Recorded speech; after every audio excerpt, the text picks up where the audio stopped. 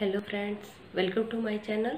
और आज मैं आपके साथ शेयर कर रही हूँ अपना पर्सनल एक्सपीरियंस डार्क सर्कल्स को दूर करने के लिए। बहुत ही इजी और होममेड रेमेडी है। बहुत ही आसानी से बन जाती है और यूज़ भी बहुत ही आसानी से हो जाता है। इसमें कोई झंझट नहीं है, बहुत ही आराम है और डेफिनेटली आपको इसका रिज़ल्ट मिलता है। और चलिए हम शुरू करते हैं। ये आलू है।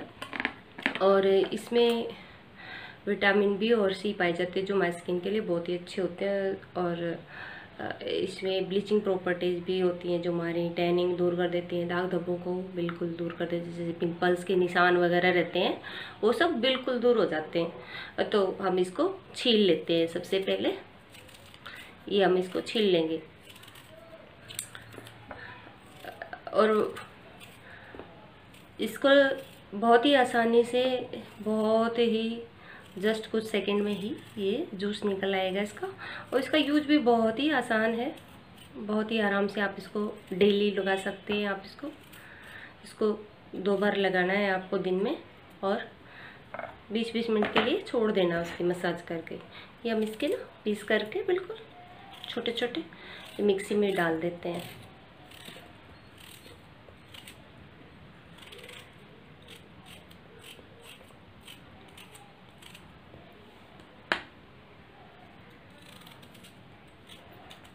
ये मिक्सी में हमने डाल दिया है। ये देखिए, अब हम इसको, अब हम इसको पीस लेते हैं। ये देखिए, ये हमने मिक्सी में पीस लिया है। और अब हम इसमें छलने में से छान लेंगे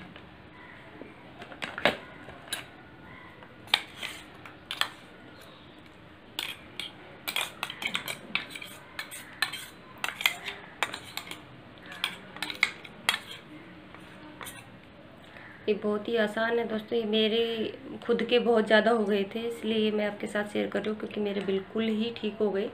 आप दस दिन इसको कंटिन्यू कीजिए। दस दिन में ही आपके फ़ायदा होगा, दस दिन में ही आपको। देखो छलने में से इसको पूरा रस निकाल लेंगे अच्छे से।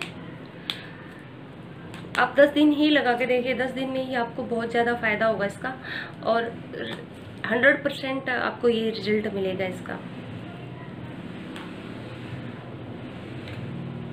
ये देखिए। दिख रहा है अब हम फेस को बिल्कुल साफ़ कर लेंगे। फेस पे कुछ भी नहीं बचना चाहिए डर्ट वगैरह कुछ नहीं होना चाहिए मेकअप कुछ नहीं होना चाहिए।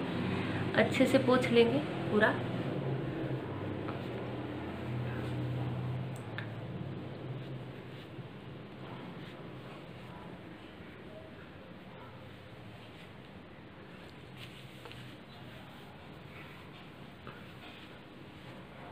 आपको पूरा मेकअप साफ़ कर लेना है।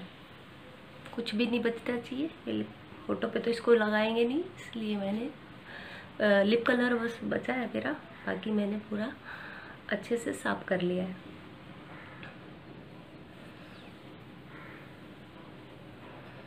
अब हम इसको कॉटन बॉल की मदद से भी लगा सकते हैं। और नहीं तो आप डायरेक्ट हाथ से भी लगा सकते। कॉटन बॉल को पानी में गीला करके उसको निचोड़ के रख लें, तब इसको लगाएँ। और मैं हाथ से ही लगा रही हूँ इसको। इसको सेम टाइम बना के ही लगाना है। ज़्यादा टाइम इसको रखना नहीं है। रखने से ख़राब हो जाता है। फ्रेश बनाइए और फ्रेश ही लगाना है इसको। आप ऐसे पूरे फेस पे आप ऐसे लगा सकते हैं इसको।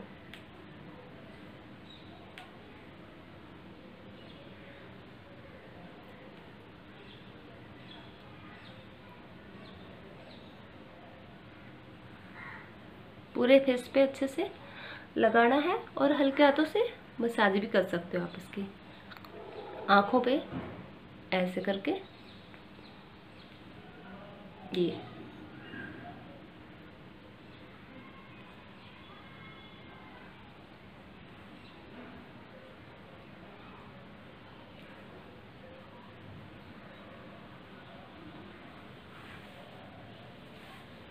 इस तरह से आपको पूरे फेस पे लगा लेना है।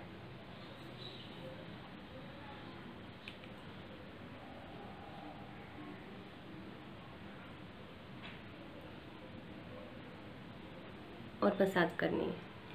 आँखों पे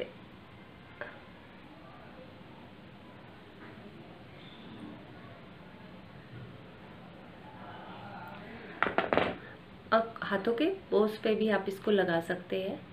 अगर आपका गर्दन पे टैन हो रखा है ब्लैक हो रखी है तो आप उस पर भी आप इसको लगा सकते हैं। अच्छे से लगा लीजिए और 20 मिनट के लिए आप इसको छोड़ दीजिएगा। 20 मिनट बाद इसको सिंपल प्लेन वाटर से धो लेना है। और मॉइस्चराइज़र कुछ लगा लीजिए एलोवेरा लगा लीजिए या मॉइस्चराइज़र लगा लीजिए।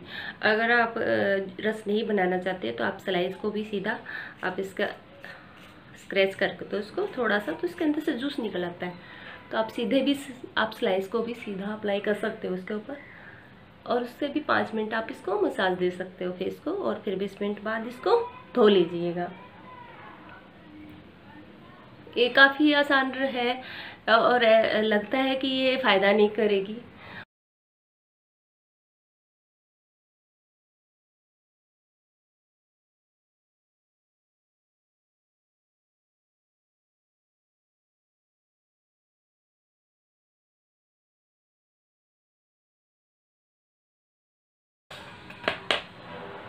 इसका मैजिकल इफ़ेक्ट होगा, बहुत ही अच्छा मैजिकल इफ़ेक्ट देगा ये।